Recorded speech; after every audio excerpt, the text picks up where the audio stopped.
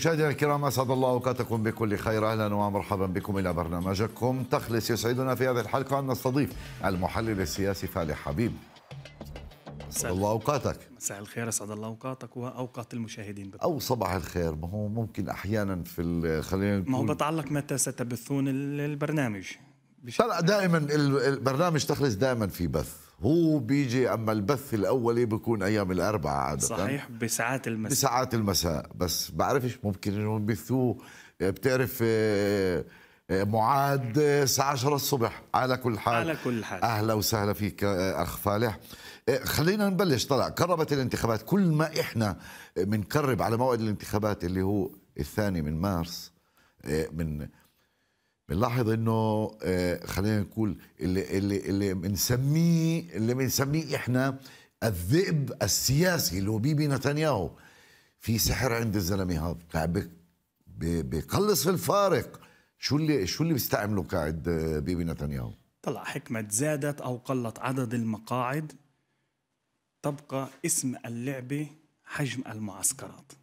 حتى هذه اللحظة لكلا الطرفين سواء بيني جانتس أو بنيامين نتنياهو لا يوجد هنالك معسكر يمكنه من تشكيل ائتلاف حكومي أو حجم 61 معسكر 61 يتعدى ال 61 مقعد.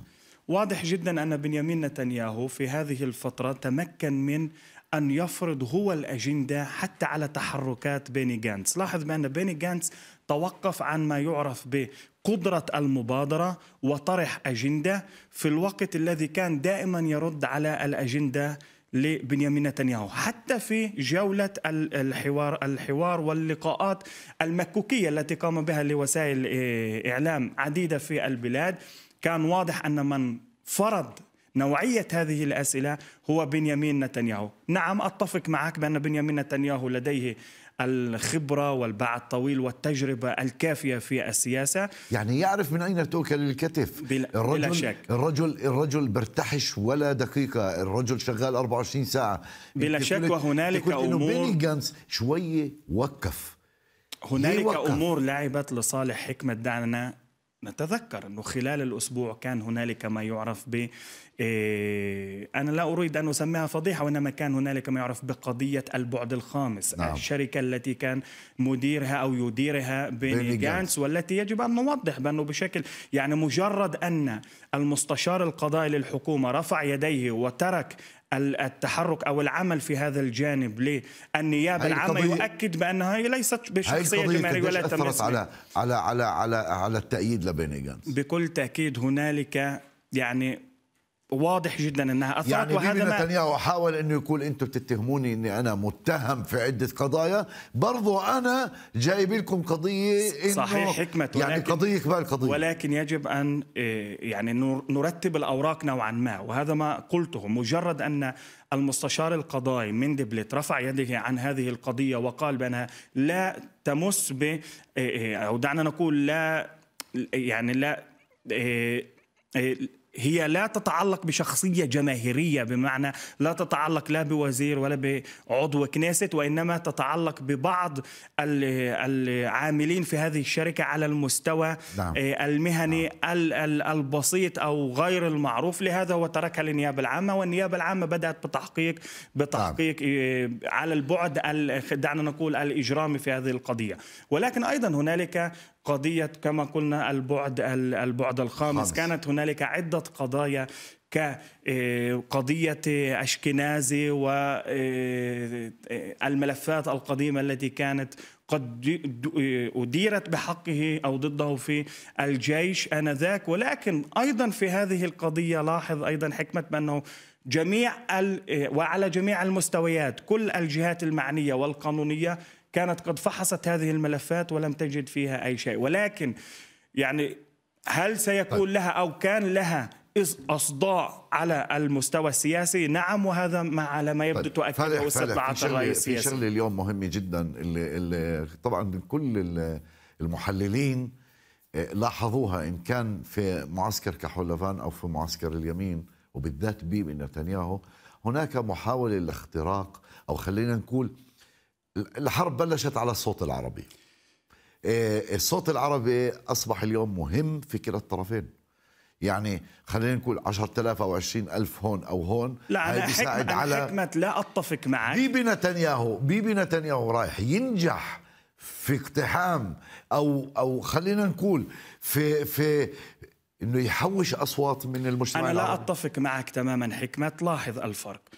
هم يريدون تصويت الناخب العربي أو بما معنى أدق لا يريدون لا يريدون صوت العربي وإنما يريدون أن يجسوا النبض حول كيفية التصويت العربي.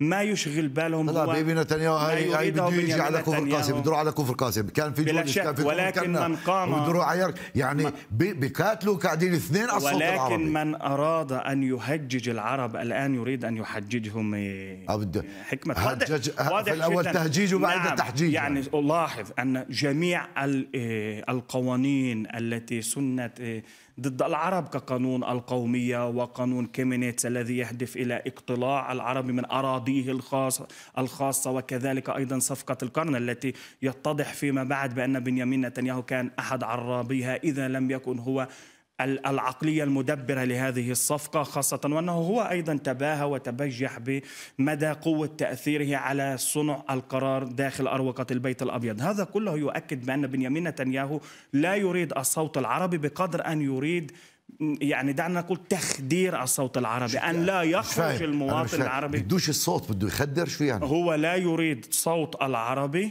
إلا؟ ولكن هو لا يريد بأن يخرج العرب إلى صناديق الاقتراع لأنه يعلم بأنه كلما ارتفعت نسبة التصويت في المجتمع العربي وانخفضت نسبة التصويت في المجتمع الإسرائيلي كلما زادت أيضا فرص تأثير أو قوة تأثير القائمة المشتركة على موضوع تشكيل أفان، كيف بتشوف ائتلاف من؟ غيره أنت كمحلل سياسي وطبعا أنت مستشار استراتيجي كمان يعني فالح إيه، حسب رأيك بيشتغلوا صح كحول لافان في الوسط بيني؟ جانس حتى هذه اللحظات وقيادة حجرة أبيض أزرق كل تحركاتهم تؤكد بأنهم وجهتهم نحو حكومة وحدة وطنية بدون بنيامين نتنياهو. نعم. لهذا لاحظ بأن تحركاتهم مؤخرا وهذا الأمر لا يقلقهم جدا بأنهم بدأوا يتحدثوا عن حكومة ذات أغلبية يهودية. الصوت العربي؟ ذات أغلبية يهودية. يعني كل هذه التصريحات التي تتعارض مع مصالح الجماهير العربية ومع كيانهم وحضورهم هنا في هذه البلاد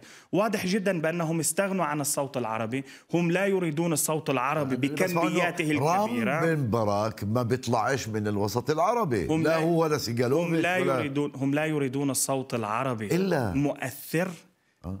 لاحظ جدا هم لا يريدون الصوت العربي مؤثر ولكن من خلال إيه، تحركات فردانية ومن خلال توزيع سكريات هنا وهناك لبعض شخصيات يريدون استقطاب بعض الشرائح من المجتمع العربي ولكن كن على ثقة بأنه عدم وجود شخصيات حكمة قيادية لديها الكاريزما الكافية في أحد المواقع الواقعية في الأحزاب الصهيونية سواء على يمين الخارطة السياسية أو في المركز. على أو في المركز المركز يسار. لاحظ أنه عدم وجود شخصية من هذا القبيل لن إيه، يعني لن لا توجد هنالك الشخصية التي يمكنها ذلك؟ تقود شرائح المواطن العربي الناخب العربي. العربي. وصل لمرحلة وعي يعني.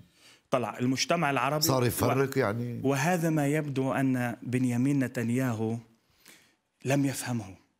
وهذا يؤكد بأن بنيامين نتنياهو يعيش في عزلة وانقطاع عن المجتمع العربي. هو على ما يبدو يظن بأن المجتمع العربي ما زال قابع في سنوات الستينات والخمسينات ومن خلال المخاتير وتوزيع ما يعرف بالكوبتيشن الكوبتاتسيا يعني من خلال وضع شخصيات وإعطاء منافع بعض المنافع والمصالح الشخصية لهذه الشخصيات يعني يمكن بدك أن تقول تقود المجتمع العربي. فهم اللعبة أكثر؟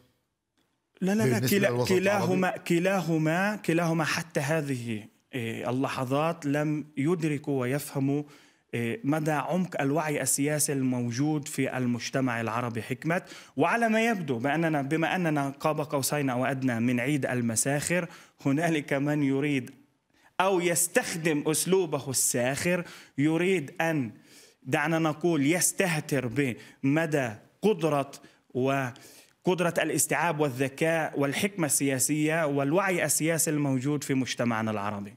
طيب. واضح جدا بأن كلا الحزبان سواء أو الكتلتان كتلة أبيض أزرق أو الليكود يريدون اختراق صفوف المجتمع العربي ولكن بمثل هذه الاستراتيجيات بكل تأكيد لم ولن يفلحوا وهم لا يريدون أيضا. هم يريدون الصوت العربي أن يصوت لهم لكن دون أن يكون مؤثر. يعني خلينا نقول في أنت هيك معناته خلينا نلخص موضوع الحزبين الكبيرين اللي هن أبيض أزرق والليكود.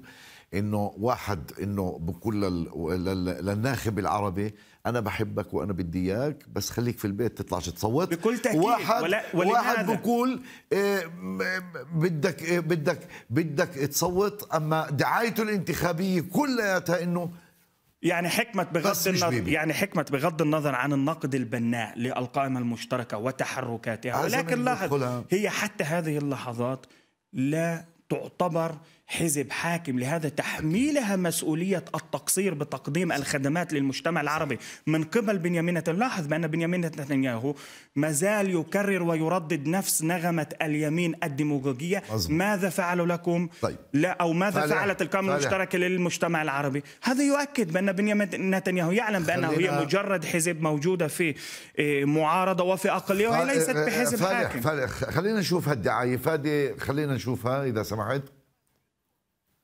صورة. هاي الصورة شو رأيك فيها؟ بيستعملها قاعد اليوم بيبي نتنياهو إنه إنه إنه أنا أنا الأقرب صديق للعرب وبستعمل طلع. أنا في عندي فيديو وخسارة إني إني أنا حكمة إني أنا ان دقيقه فادي إنه أنا ما في في خلينا نقول في الإنتاج ما اعطيتهمش إياه. إنه في في بعرفش في ديمونا في مؤتمر بالليكود في ديمونا حتى بيبي نتنياهو ما ميز مين هذا الشاب اللي هو طلعوه وأجا قال أنا آه، بس بصرني إني أقدم لكم ممثل الوسط البدوي. الشاب طلع من زامر اسمه نائل مباشر. نعم. يعني خلينا نقول هون هل بيبي نتنياهو نعم. بيحاول يغلط الوسط العربي؟ حكمة ليس هذا فحسب. هنالك أيضا من يريد أن يعمل على جانب التصدعات و تعميق الفجوات في المجتمع العربي نفسه يعني لاحظ يريدون تقسيم يعني هي سياسة يريدون هي سياسة. واضح جدا هذه السياسة التي أنتجها بنيامين نتنياهو منذ أن تولى الحكومة الإسرائيلية يريد أن يقسم المجتمع العربي لمسلمين مسيحيين بدو شركس بدو الشمال بدو الجنوب قسم قسم المجتمع بلا العربي. شك ويريد تقسيم المجتمع طيب. العربي الآن لاحظ هذه الصور التي أنا كنت قد شاهدتها أيضا عمليا هم دائما يهاجمون ونفس النغمة التي كان يرددها إما بيبي أو طيبي هو لا يتحدث عن إحمد الطيبي كعضو برلمان بحد ذاته وإنما هو كاسم يتحدث يعني أحمد يعني. الطيبي يمثل مجتمع عربي اذا هو يريد نزع الشرعية عن المجتمع العربي صح. هو صح. يريد أن يحول العربي في هذه البلاد إلى فزاعة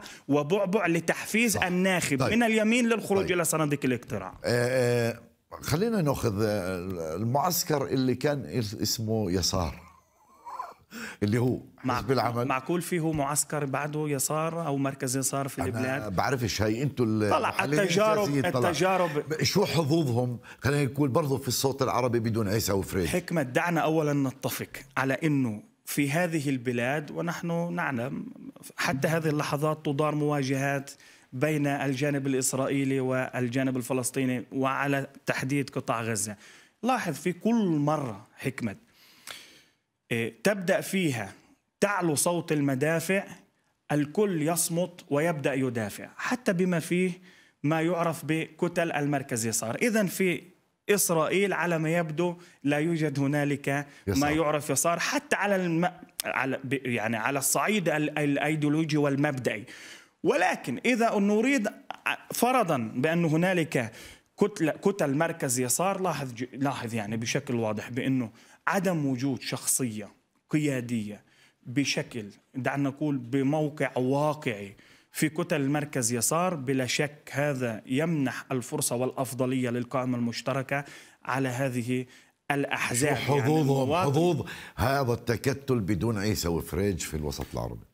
أنا لا أعتقد بأن حظوظهم كبيرة وهذا ليس فقط متعلق بعساوي فريج كعساوي فريج وإنما أيضا يتعلق ب تنساش إنه يتعلق ب 45 ألف صوت جميع يتعلق العربي.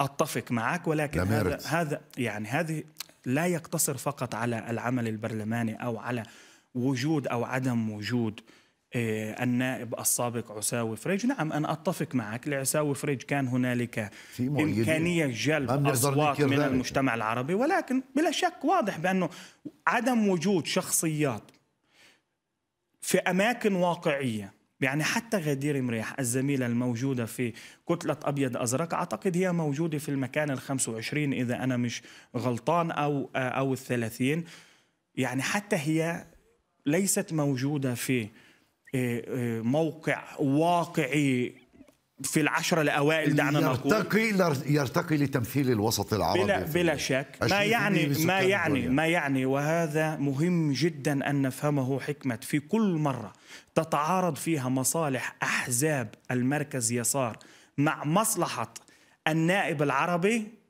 يكون النائب العربي ضحية على مذبح مصالح الأحزاب طيب. لاحظ أنهم ضحوا في عساوي فريج وبالتمثيل العربي فقط من أجل إقامة هذه الوحدة وعلى حساب من ومن كان الثمن ومن صح. دفع الثمن صح. هو عساوي فريج مزبوط طيب آه، آم، آه، خلينا نبلش في المشتركة المشتركة تقييمك خلينا نقول للدعاية الانتخابية تبعت المشتركة حتى الآن طلع. هنالك استخلاص للعبر من الحملات الانتخابية السابقة. يعني واضح بأن هنالك من يعمل وفقا لمعطيات وما يعرف باستراتيجية ال search marketing وإلى آخره. ولكن هل هي ارتقت إلى أن تحصل على العديد والكثير من المقاعد. حتى هذه اللحظات هم يعملون بناء على ما يعرف وأنا كنت قد تحدثت بهذا الجانب مع الكثير من أعضاء البرلمان العرب خلال حواراتي إنه حتى عمة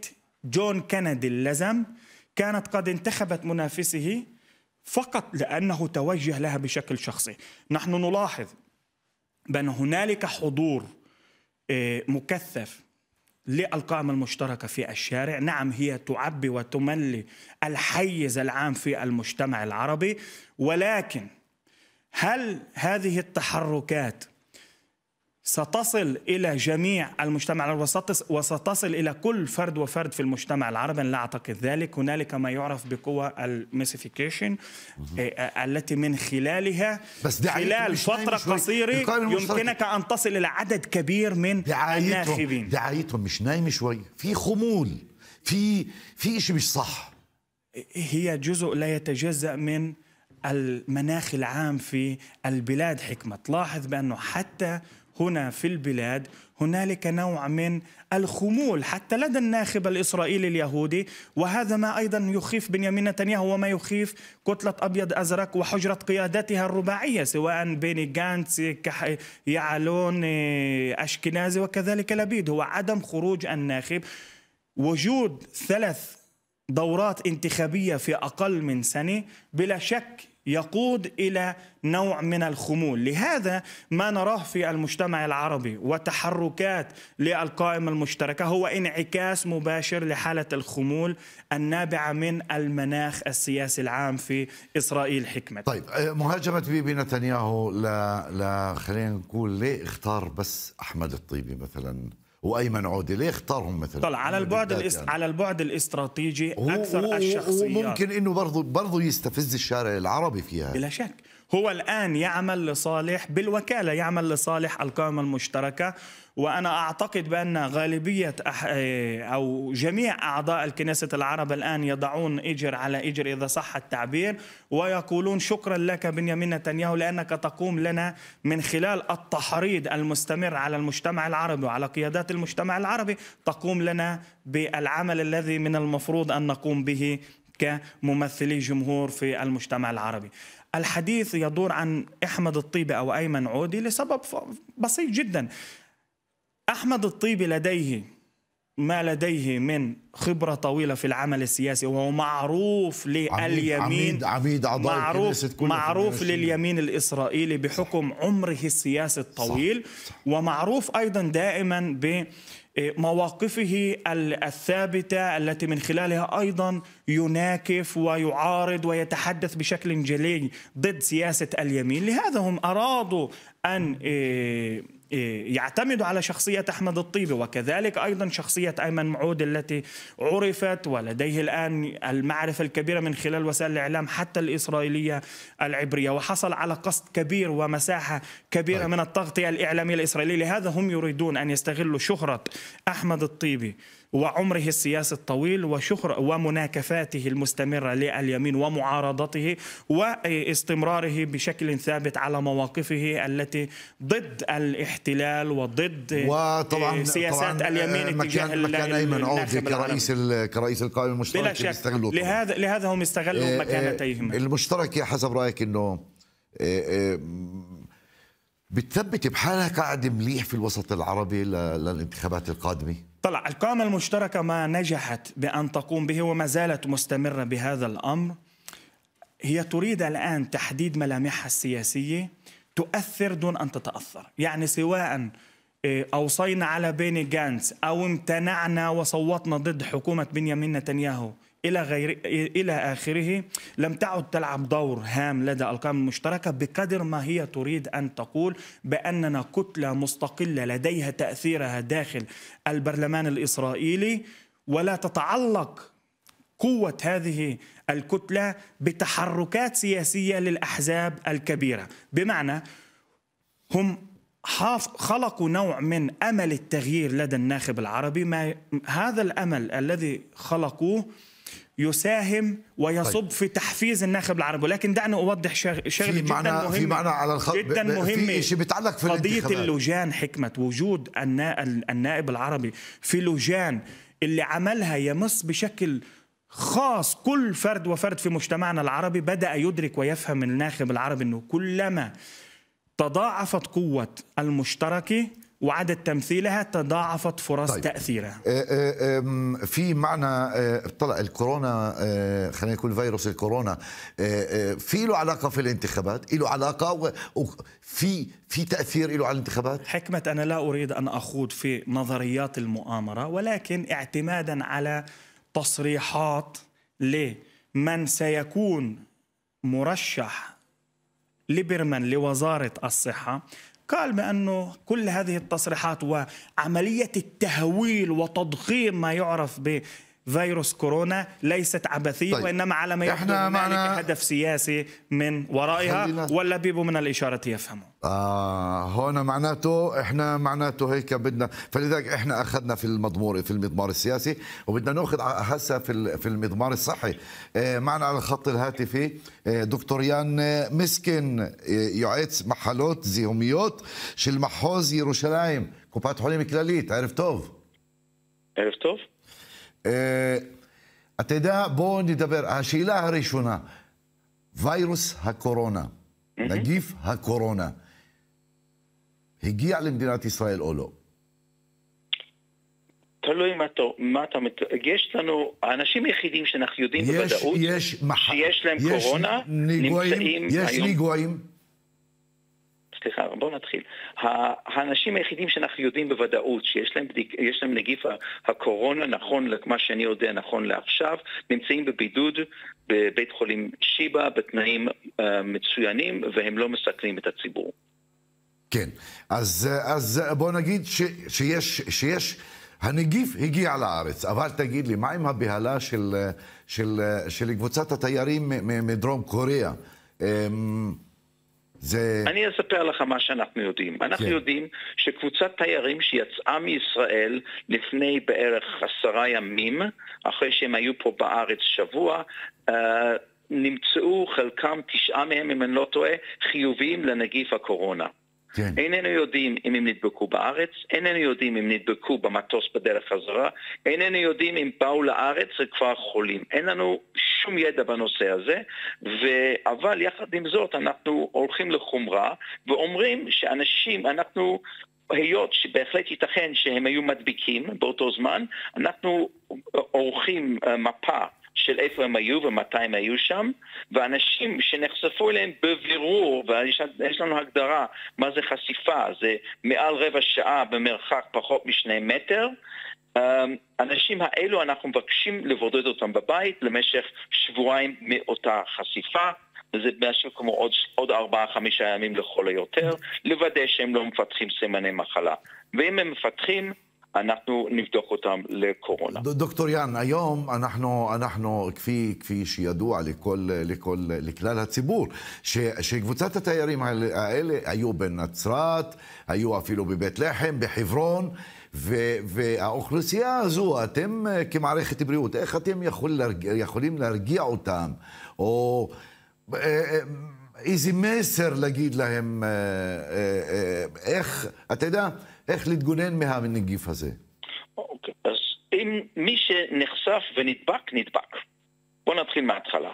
אין לנו דרך עכשיו לגלגל את, ה, את ההיסטוריה אחורה, אין לנו דרך להגיד לאנשים, שימו, הייתם צריכים לשים מסכה, כי זה לא רלוונטי. כי אף אחד לא ידע שהקבוצה הזאת נושאת את המחלה הזאת, ובאותו זמן בכלל לא ידענו שיש את המחלה בקור, בדרום קוריאה. כן. זה כן. נושא ראשון. אז האם בן אדם היה וראה את הקבוצה והיה בקרבתה לא מספיק ראו אותם יוצאים מהמסעדה שאליו הוא נכנס אחר כך, או הפוך, אלא היה בקרבתם למעלה, למעלה מרבע שעה, אותו איש מתבקש אה, להתקשר למוקד משרד הבריאות, כוכבית 5400, להודיע להם על כך, ואם ייתנו לו הנחיות האם עליו להיות בבידוד בבית בחופשת מחלה. אז הנגיף לא באוויר. זאת אומרת, צריך, אה, זאת אומרת, אה, אה, מי שנגוע בנגיף, הוא, אם הוא בתוך מסעדה יצא, הוא לא משאיר את הנגיף שם. אנחנו יודעים שייתכן שהוא משאיר, אבל באוויר הסיכוי מאוד נמוך ועיקר ההעברה הוא באוויר. ייתכן שזה על משטחים, אבל הסיכוי לכך הרבה יותר נמוך. ולכן אנחנו אומרים, אנשים שהיו בקרבת, שיש מגע אמיתי, והמגע האמיתי או החשיפה האמיתית, שזה אומר מעל רבע שעה ופחות משני מטר. אה, דוקטור, עד כמה מדינת ישראל ערוכה ל... אה, חס וחלילה למתקפה של נגיף כזה במדינת ישראל? האם מערכת הבריאות, אנחנו ערוכים לגל יותר גדול ממה שאנחנו נמצאים בו עכשיו? האם אנחנו ערוכים כן. לנגיף, נגיף בקופת חולים כללית, חדש, האם אנחנו ערוכים לנגיף חדש שמעולם לא ראינו, שיגיע לארץ, ואנחנו משווים את זה לשפעת פנדמית. שפעת חדשה שהיא הרבה יותר מדביקה דרך אגב מהנגיף הזה, אה, אבל אה, האם אנחנו ערוכים? בהחלט. אנחנו ערוכים, יש מערכות טוב. מוכנות, יש uh, במקרה של השפעת יש תרופות, במקרה של הקורונה אנחנו יפה. לא יודעים איזה תרופות יעילות, אבל זה לא רק אנחנו לא יודעים, העולם לא יודע. העולם לא יודע, נכון, אנחנו טוב. מתמודדים עם משהו חדש, בס... המערכות של מדינת ישראל יודעות לזהות, המערכות של מדינת ישראל יודעות לבודד, המערכות של, ישראל, של מדינת ישראל אבל מוגבלות. טוב. כמו שכל מדינה אחרת, ואנחנו רואים שמדינות מאוד מאוד מפותחות כמו איטליה, כמו אוסטרליה, גם הם צריכים להתמודד, ואני קראתי היום שאוסטריה אוסרת על רכבות אה, מאיטליה, כי יש שם נכון. מקרים. מדינות טוב. מפותחות עם מערכת בריאות בהחלט מפוארת, גם הן מתקשות להתמודד. דוקטור יאן, אה, מסכן, יועץ מחלות זיהומיות של מחוז ירושלים, קופת חולים כללית, תודה לך, אנחנו רגועים בינתיים. אני מקווה שכן. תודה, תודה. حبيب اخر اخر اخر سؤال المشتركة كم كرسي؟ كم نائب؟ من من السابق لاوانه أو من الصعب جدا التنبؤ ولكن بدهم 15 ولكن في 15 في 15 في 15 حبيب. حكمه في 15 حكمه لا يمكن الإجابة به علوم السياسة بشكل ما بشكل مختصر لا أنا لا يمكنني التكهن ولكن دعني أقول بأن هدف الخمسة عشر مقعد هدف الخمسة عشر مقعد ليس بهدف بسيط ولكن في نفس حبيب الآونة حبيب ليس بهدف حبيب صعب المنال. هنالك حالة تعبئة في الشارع العربي. الشارع العربي بدأ يتفاعل مع حملة القائمة المشتركة وليس فقط وإنما أيضا يريد طيب. أن يرد على حملات التحريض وصفقة القرن والقوانين الآخرة بما يعني معناه يا حبيب خلينا نقول كورونا مع كورونا بدون كورونا اطلعوا صوتوا. المجتمع العربي سيخرج. شكرا إلى شكرا شكرا لك حبيب بهذا مشاهدينا الكرام نأتي لنا هذه الحلقة. برنامج تخلص. على أمل اللقاء بكم في الأسبوع المقبل. مشيئة الله إلى اللقاء.